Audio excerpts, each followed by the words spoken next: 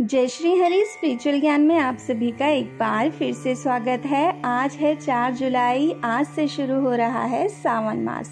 तो आज के दिन हम जानेंगे शिव पुराण में वर्णित शिव के प्रिय पुष्प के बारे में। किस पुष्प से कौन सा वरदान मिलता है, ये भी जानते हैं।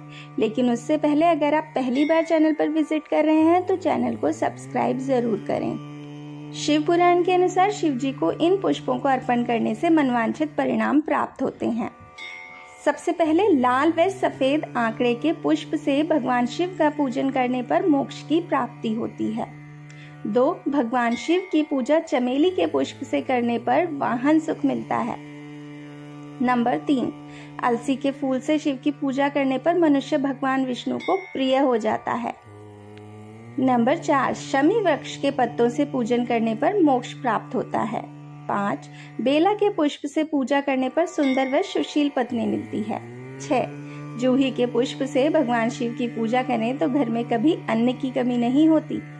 नंबर सात, कनेर के पुष्प से भगवान शिव की पूजा करने से नए वस्त्र मिलते हैं।